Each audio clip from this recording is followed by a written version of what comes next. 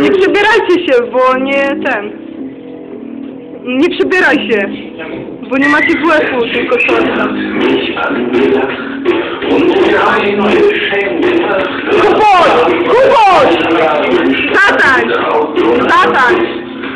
Thank